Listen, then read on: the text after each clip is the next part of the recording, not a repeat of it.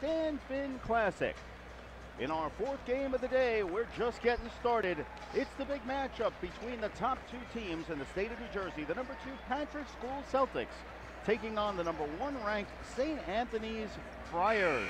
And a good afternoon, everyone. Steve Balson here courtside along with Jaden Daly. Again, this is our fourth of six games on the day, but we're only just getting started, Jaden, as two of the very top teams in the state of New Jersey, and in fact, two of the top teams in the country match up against each other on the hardwood. Steve, there's no introduction needed for a rivalry of this magnitude with two teams like this with the Patrick School and with St. Anthony's. Battle of the point guards is going to be one that takes center stage with Jaden Mosley of St. Anthony's having already committed to Georgetown, matching up with Bryce Aiken, the senior phenom from St. formerly St. Patrick's, who is now committed to Harvard and Tommy Amaker for next year. Both players are more than capable of playing at the next level and even in the pros. And it should be a fun exhibition between both of them here this afternoon slash evening. Storylines abound in this contest on the floor, on the benches, and throughout this historic arena. As the teams take the floor, we're going to have a uh, national anthem to start our second session of the day. But again, for the St. A's team under Hall of Fame coach Bob Hurley, no less than five players have already committed to Division One institutions.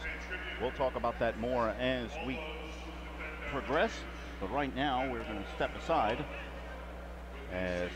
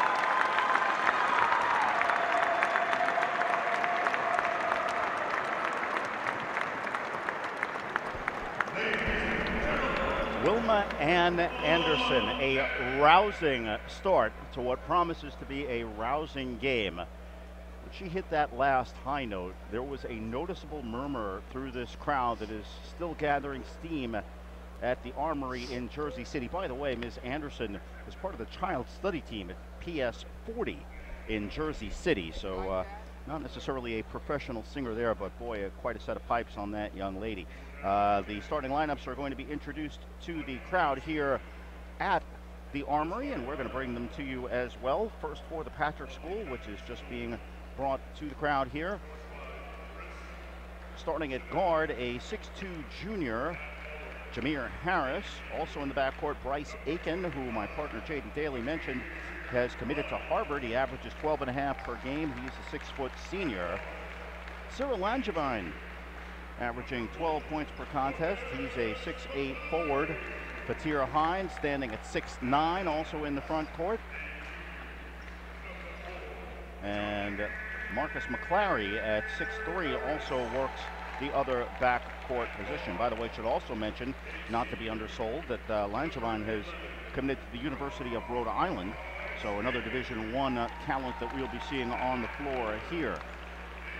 For the Friars of St. Anthony, it's Jagan Mosley. He's a player to watch. The 6'3 guard, averaging 14 points per game. He's committed to the Georgetown Hoyas. R.J. Cole is also in the backcourt. He's a six-foot junior. Daniel Madding standing at 6'10. He's a junior forward. Caleb Bishop, 6'8 junior. He's committed to FDU. We'll talk about that as the evening goes on. And Shaquan Gibbs in the backcourt. He's a 6'1 senior. And he will be patrolling the guard position as the crowd brought up to date on the starters for Bob Hurley's St. Anthony Friars. Jaden, you know, we talked a, a, little bit earlier in the day, but uh, to bring our crowd up to speed, one of the great buy stories or interesting buy stories of this game is the coaching situation at the Patrick School, uh, sort of a unique deal going on there. Yeah, Mike Rice, the co-head coach, along with Chris Chavanis, Rice introduced to the Patrick School staff about a month ago while Chavanis took a brief sabbatical prior to the holidays, and he has stayed on with the staff, and he's gotten them to play the same intense style of basketball that he honed to perfection at Robert Morris and at Rutgers, the former where he won back-to-back -back Northeast Conference championships before getting hired by the Scarlet Knights in 2010 to replace Fred Hill. Yeah, and Chavanis, of course, a long-time uh, fixture on the bench of the Celtics, but uh, Rice, a bit of a, a, bit of a story in his own right, getting a, a, second chance, if you will, a bit of a rebirth after a controversial start. We, we look at Bob Hurley, the Hall of Fame coach of the St. Anthony's Friars. So again, even the sidelines entailing some drama in this game as the teams get ready to start things up. And Bob Hurley's legacy also profound. Verbal commitments to teams of both of his sons abound here this afternoon. You mentioned Cyril Langevine having committed to Rhode Island. Daniel Madding on the St. Anthony side has committed to Arizona State, and his son Bobby, of course, Dan Hurley coaching at Rhode Island. Teams get ready to take the floor as we take another look at our starting lineup for the Patrick School. It's Hines, McClary, Harris, Aiken, and Langevine. For St. Anthony's, Mosley, Cole, Madding, Bishop, and Gibbs. Patrick School is moving from our broadcast right to left. To start the game, they are wearing the road green uniforms, white letters and numbers. Celtics above the numbers on the front. Last names on the back of the jerseys above the white numbers. The Friars of St. Anthony and the home white maroon letters and numbers trimmed in gold and St. Anthony's above the number on the front of the uniform. We are underway here at the Armory in Jersey City. It's St. A's with the first possession as Madding hands outside for Jagan Mosley. Mosley wearing the number zero. Hands into the corner for Gibbs. Patrick School starting in the man defense. Mosley in the corner. Quick rotation for Cole. St. A setting up the offense. Cole calling a play. Cole pestered by Bryce Aiken on the man defense. Here's Mosley. Straight away Madding left side for Gibbs. On the slice backdoor feed intended for Madding. It's tipped out of bounds, and the first possession of the game goes 41 seconds and ends up in a turnover for St. Anthony's. Aggressive man defense by Patrick, and Mike Rice already standing up on the sideline, exhorting his personnel on. So now the Patrick School, formerly St. Patrick's, with its first possession. Bryce Aiken now running the point, and that's Cole guarding him. St. A is also playing the man. McClary takes the return feed in the blocks from Langevine. Pump fake at the right, at the left elbow. Pulls up in traffic and he takes a three-second violation. It could have been a five-second violation. Coach Hurley was calling a travel on the other side. He won't care. It results in his team having the ball. Bob Hurley and St. Anthony's get a reprieve. Neither team has scored just over a minute into the game as R.J. Cole brings it up for the Friars. Nice stutter step by Gibbs. Kicks outside from Mosley for the open three. Left side of the rim. That's off. Rebound pulled down by Langevine. These teams met here a year ago, almost to the day, at the 2015 Dan Finn Classic. St. A's came up with a win and an offensive foul. McClary attacked the basket, and the charge was called. Looked like McClary was just a little bit too aggressive there. Hopefully we can get another angle of it. Yeah, it was it was the big guy, Daniel Madding. Madding stepping in and drawing the charge.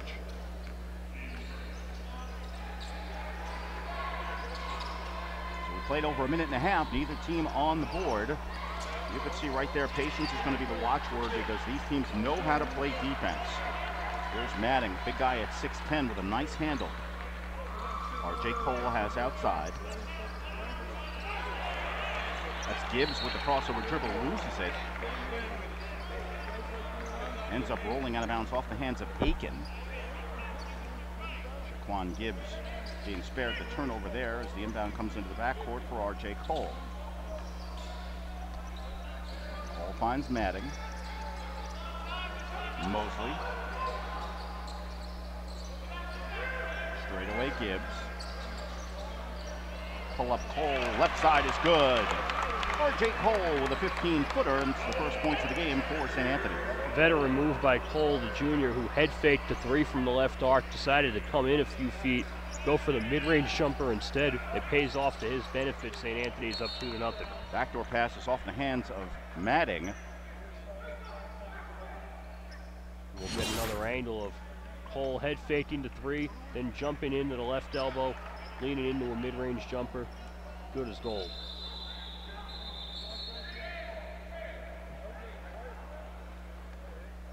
Bob Hurley looking for some reassurance from one of the officials. Patrick School inbounding on the baseline. Quick pull up by Langevine is an air ball. Here's Cole on the run, pulls it out and sets up.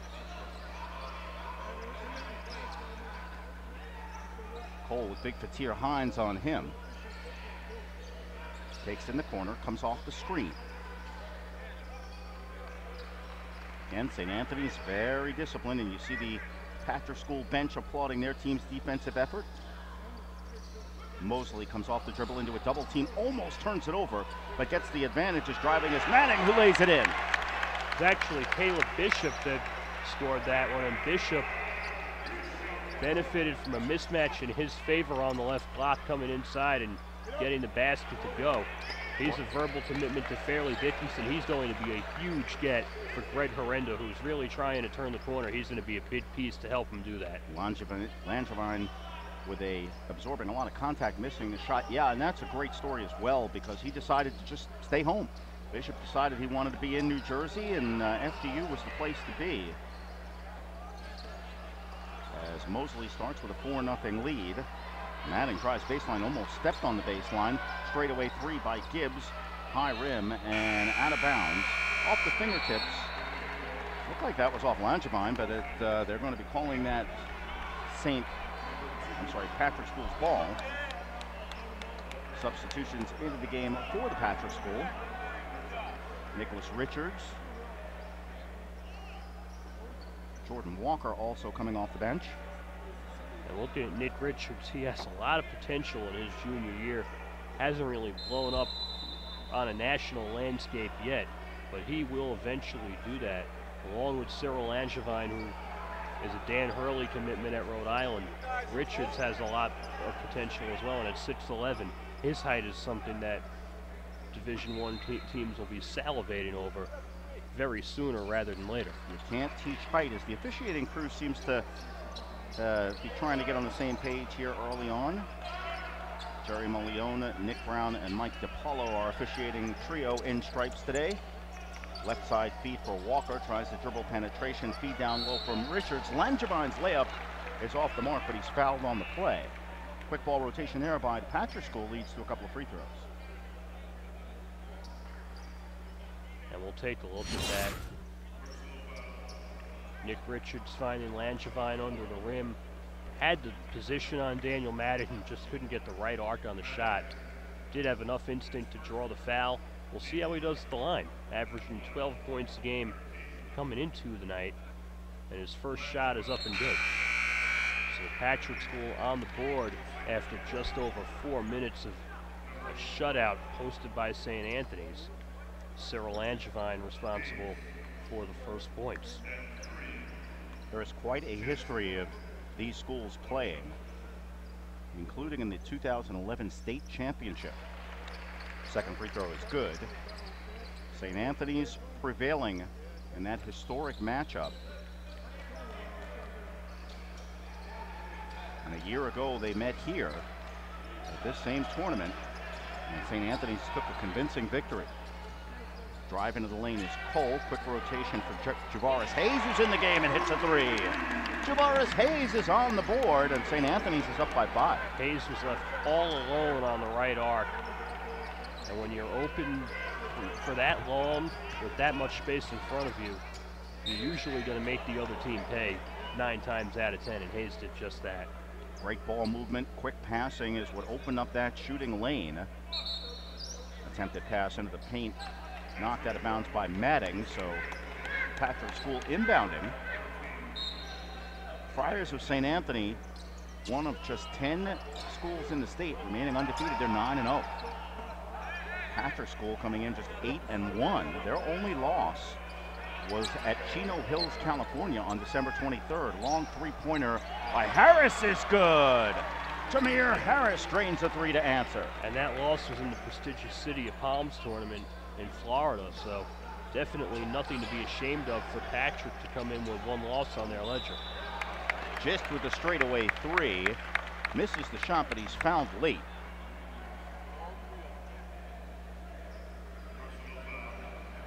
Asante just coming off the bench.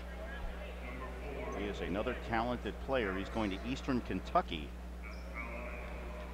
Head coach Dan McHale in his first year with the Colonels this year, and he's really building for the future. Someone like Gist is going to be some a piece that will fit right in.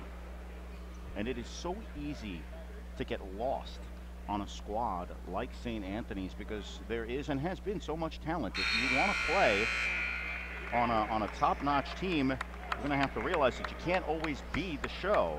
And when you play for Coach Hurley, you recognize that you have to accept a role. There are 19 players on the original roster for this season for the Friars.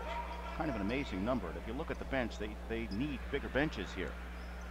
Third free throw attempt is up and good. Just makes two out of three. A's up by four.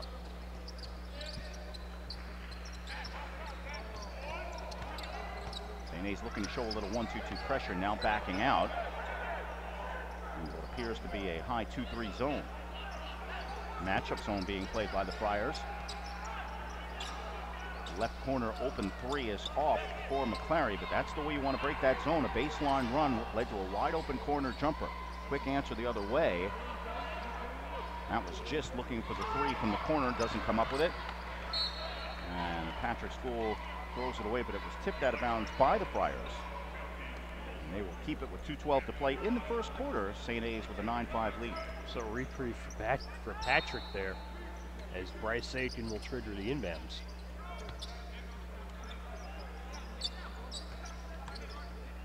Here's McClary dribbling out of traffic. Aiken now setting up the Celtics offense.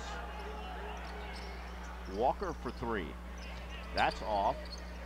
Rebound comes loose for Jagan Mosley. Friars on the run. Nice finger roll layup by R.J. Cole running the floor very effectively, catching Patrick School a little flat-footed. Timeout on the floor with 151 to play in the first quarter. And the St. Anthony Friars with a six-point lead. And a very demonstrative Mike Rice in the huddle. pointing out in chapter and verse what went wrong for Patrick on that last possession. And you see the numbers just weren't there as the quick outlet for R.J. Cole running the right sideline and finding the lane to the hoop for the finish.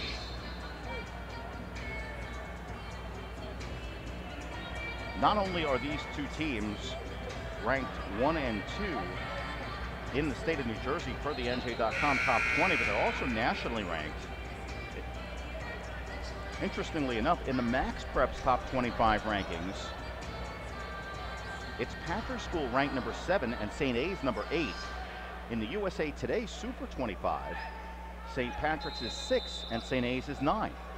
So those two national ranking factions feeling Saint, uh, that the Patrick School is the uh, higher ranked of the two coming in, and St. A's would like to do something to change that if they can. Of course, the Patrick School looking for some revenge from their loss on this floor a year ago as the Celtics move from left to right. Three-pointer from the corner by Jordan Walker is good. Walker takes the outlet pass and cuts the deficit to 11-8. Jordan Walker averaging just over 10 points per game, one of four Patrick starters in double figures on a very balanced offensive unit. Just can't handle cleanly, so he decides against the three. Hands out for Javaris Hayes. Into the corner, three-point attempt by Cole is off. Rebound in traffic is Hayes. Tries to force it up into a triple team, and he's stuck. On the run, here comes Walker. Walker on the run, reverse layup attempt is off. Long rebound comes out for Mosley. Mosley had numbers briefly. Now again he does. Here's Cole. Cole with the handoff for Hayes. The reverse layup is good. Javaris Hayes as the Friars run the floor. It was a beautiful layup by Hayes, and R.J. Cole set him up perfectly for it.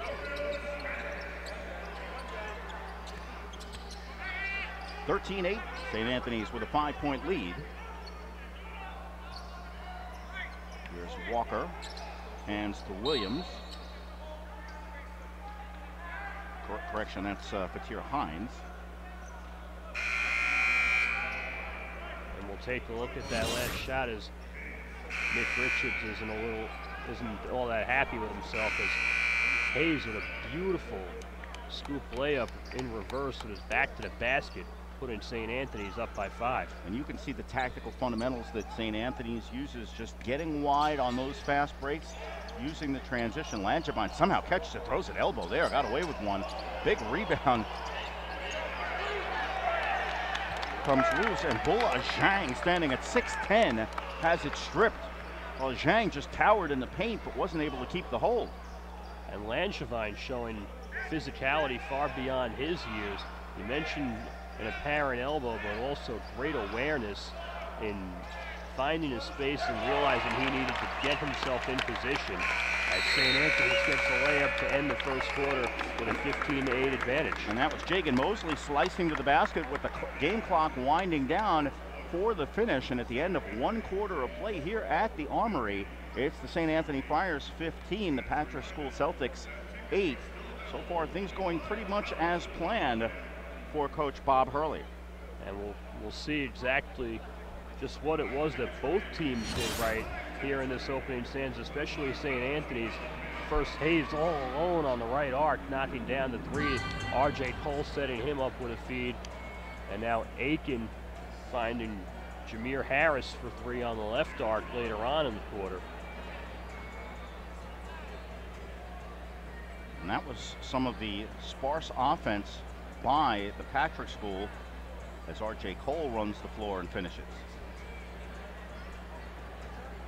Here's Jordan, Jordan Walker in the left corner for three.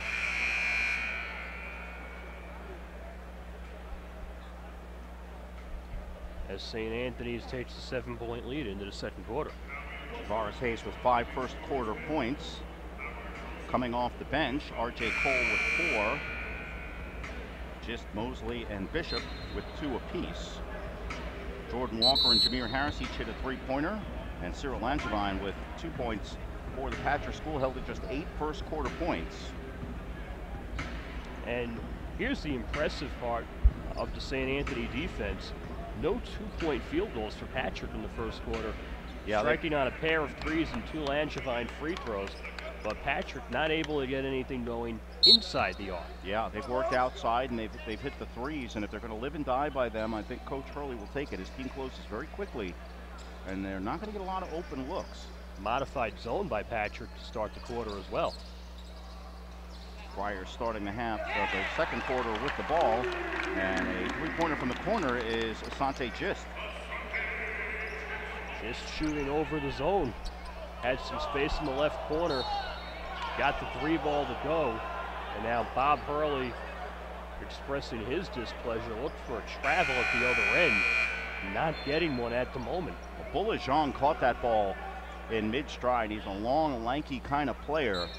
And stumbled. There's a little contact, and he stumbled just a bit. And I think that was a situation where the official was either going to call the foul, which he could have, or give the ball back to Patrick School, which is what he decided to do, even though Coach Hurley was calling for the traveling violation there. Left corner here's Walker, pull up 15 footer is off. Skying for the rebound is Hines. He puts it home, and the foul. Fatira Hines looking for the three point play. And that's where height comes into play. Hines at 6'9, using his height to his advantage, skying up, getting the rebound and the putback, and now he'll head to the line for a three point play opportunity. And as you mentioned, Jaden, first field goal from inside the arc for the Patrick School. They trail by eight. We're in the first minute of play here in the second quarter.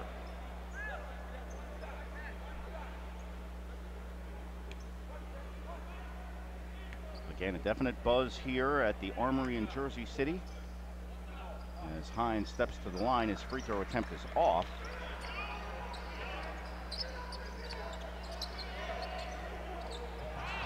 And full court pressure resulting in the turnover as Walker comes up with the steal at the midcourt line. Walker kicks to the right corner. Well off balance. The shot is rebounded by Hines, and he's fouled underneath. Caleb Bishop got a piece of Hines. And Patrick got a break on that one because Daniel Madding, who has point guard instincts that belie his 6'10 stature, got maybe a little too overzealous as we look at Bishop going over the back on Fatir Hines going in for the offensive rebound. Yeah, Bryce Aiken a little out of control on that shot, looking for some contact, and the officials uh, letting the boys play, if you will, and didn't get the contact, but it was a look what I found for Fatir Hines. And he finishes three points for Hines. And it's a seven point St. Anthony's lead. Again, Friars this time break the press very well. Three pointer from the left side by Gibbs is good. Shaquan Gibbs. Shaquan Gibbs, a commitment to Jim Engles at NJIT. He'll look really good replacing Damon Lynn, who's an outstanding three point shooter in his own right for the Highlanders. So it's really picking up where one left off. Gibbs with a strong showing from the left arc on that possession and almost hits a layup on the next trip down. Quick counter attack by Aiken. He was ahead of the field. Mosley almost caught him, but Aiken with the layup, his first points of the game. And it is an eight point lead for St. A's. That drew the approval of Mike Rice. Almost Maddox running steps into through. half court. Now Madding steps through, but ends up with the turnover. Here's Aiken in transition, loses it. The shot is rejected by Bishop. Rebound comes for Aiken in the corner, and he'll reset the Celtics offense. To heck with that. A three-point attempt by Harris is off. The rebound is put up and in by Langevine. Langevine with the second and third effort. Bob Hurley's seen about enough of that timeout on the floor. 5.45 to play in the second quarter. And St. Anthony's lead has been whittled to six. It's 21-15. Langevine's done a great job of establishing himself in the post and getting the position ahead of his opponents. We'll take a look at his last shot. After Patrick gets to stop, Aiken goes and gets the layup. That was his first basket of the day that preceded Langevine's putback. Both players really making the best of their opportunities, even if they don't have much to show in the way of the stats right now. Bob Hurley, you see holding court as the Patrick School showing its first real burst of life on the afternoon.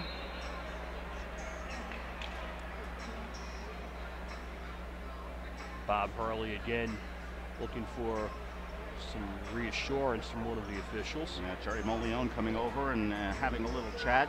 How many things can you say about Bob Hurley? I mean, you, you know, the word, the word legend gets thrown around, but my goodness, uh, what he has done not only on the floor, but just, you know, basically single-handedly rescued St. Anthony's and uh, his fundraising efforts. He's done a lot of work here uh, in terms of the resurrection of uh, the armory itself. Uh, he has really entrenched himself as uh, a person for the ages here in Jersey City. He has, and you don't normally see high school coaches get into the National Basketball Hall of Fame, but Bob Hurley, over a thousand wins, an icon on and off the floor, as you mentioned, Steve, as McClary makes his way in, and Nick Richards misses the putback. Bob Hurley, truly an icon in all, every sense of the word. And he's turned down several college jobs to stay where he is. You can tell how much this job and this community mean to him. He's had a handful of players advance as far as the NBA. He's not sure by his estimate. He's had over 150 players accept Division One scholarships over his tenure, and, and it is just an amazing thing. Again, no less than five players on this year's squad are going to Division One schools already on letters of commitment. Corner three-pointer by Aiken is off the mark. Patrick School, meanwhile, attending the business here, trying to cut into this deficit. They've already trimmed it to six points. It's 21-15. Now spreading the floor on the quick rotation, Richards gets bumped and is called for the travel. So again, referee's letting some body contact go, and that time it caused a travel on Nicholas Richards. Nick Richards trying to be a little too aggressive on offense early, looking to establish the tone alongside Langevine up front, and his eagerness got the better of him on that one. You could also see the game plan of the Friars in the paint, making him work for every inch of real estate as Madding forces one up in traffic with Richards' big hands in front of him. It's out off Patrick School. St. A's, which is in the middle of something of a drought, inbounding on the baseline. Bob Hurley able to flip his son, Daniel, Bobby, a prospect in Daniel Madding, who is committed to Arizona State. Yeah, not a bad thing uh, when, you, when you have that sort of pipeline. Boy, there was a complete shirt pull Bishop's shirt is hanging out. Madding's shot is rejected. Madding gets his own rebound, steps under, and he walks. Boy, there's one thing about letting him play, but Caleb Bishop just had his shirt pulled clean out of his shorts. He's still walking around with his shirt tail hanging out, but on the follow, Bishop hands it off for Madding, and that shot is rejected. Take a look at that as you see Madding getting his own rebound after the rejection. Richard stepping in, getting the paw on that one.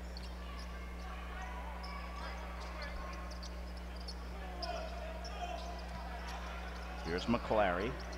Kicks to the corner. Pull up three by Aiken is good. Bryce Aiken has five points. And the Celtics are within three.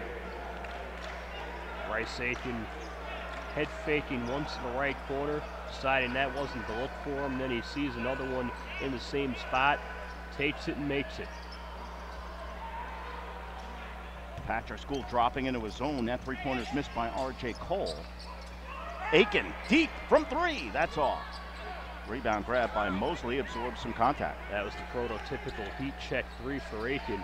And at the left arc going for the tide came up just a little bit too strong off the left eye. Mike Rice was almost on the floor playing defense for Patrick School there, and he might as well have been. Here's Walker with the steal and the layup.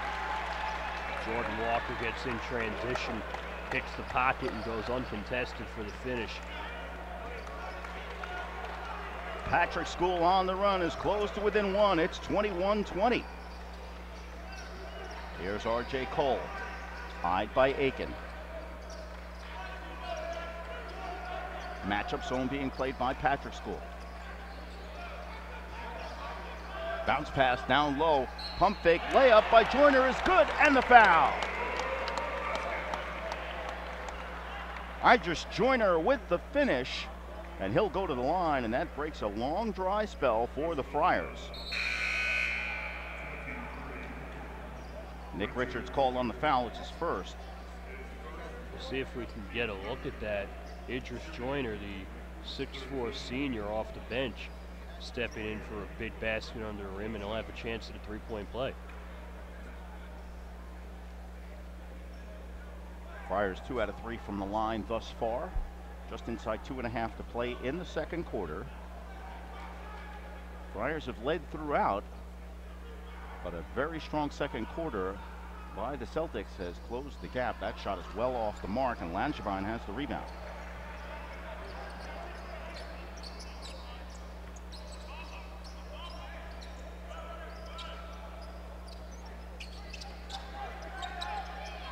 Patrick School can tie it with a three. Langevine, backdoor cut, goes off the leg of Fatir Hines and out of bounds. A well-designed play, just not finished on the execution.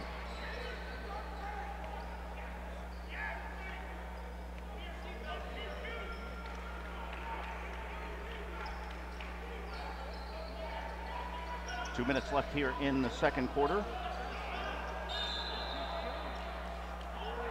And that's a block called as Okunayoli Akawovo had the ball down low.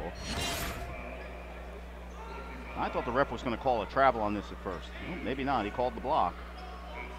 Interesting call as Hines got knocked down before any kind of contact took place. So the foul is on Fatir Hines. It's his first. Neither team in jeopardy of going into the bonus. Four fouls each as we're down to a minute 40 here to play in the first half. Runner well defended as Cole puts it off the side of the backboard. Here are the Celtics with numbers. Kick left side for Harris. Passes up the three. Straight away, and now Patrick School will set up the offense. Quick rotation. Langevine bounce pass for Hines. Nice play there. Tipping that ball away. That was Akawovo who went to the deck and created that turnover for St. Anthony's. Joyner trapped in the corner. Cross court feed. Here's Cole. Cole stutter steps at the elbow. Left corner three by Gibbs is good. Shaquan Gibbs, second three pointer of the game. Patrick School calls time. The Friars have answered back with one minute even to play in the first half. St. A's 26, Patrick School 20. That was almost in the same spot that Gibbs drained a three from earlier in the left corner. Beating Langevine's attempt just a second and a half ahead. He's got six points already, and that's the difference right now. They're up six on Patrick with a minute to go in the first half. Been a bit of a punch counter punch first half as the Friars of St. Anthony built an early lead. Patrick School close to within one, and St. A's has answered, but you have a feeling that these teams are setting up for the haymakers in the second half as we are into the final 60 seconds of half number one. And St. A's with a 26-20 lead. Again, the Friars, after going 28 and 2 a year ago, 9 and 0 this season. Patrick School at 8 and 1, representing Elizabeth, New Jersey.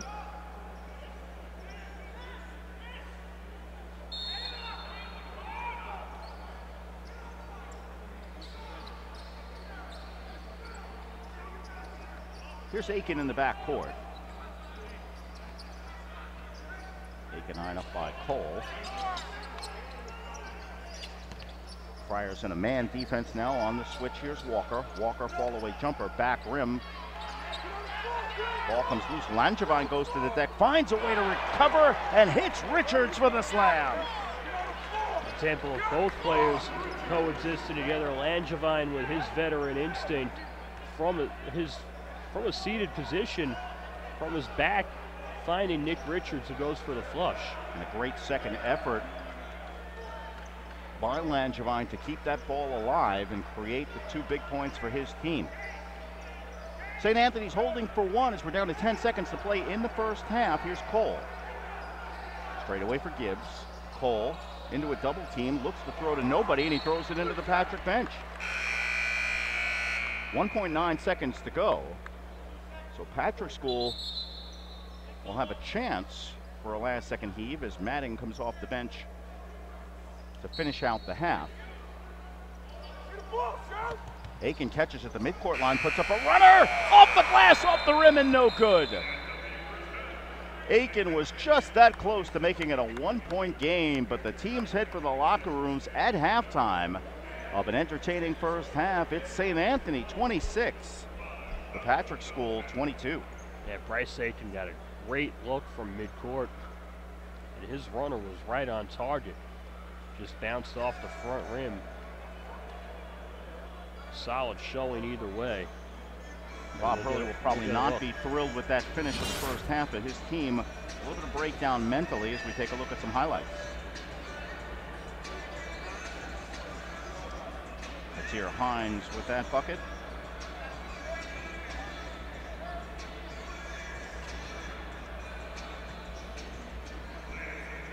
With great court presence there ahead of the field.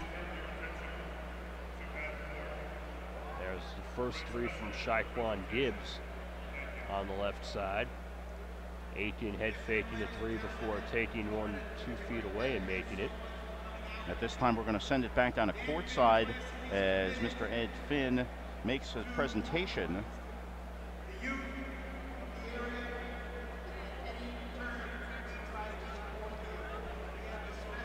See if we can catch Mr. Finn's comments as the presentation will be made to Todd Decker, to Josh Fernandez from St. Patrick's Parish in Chatham.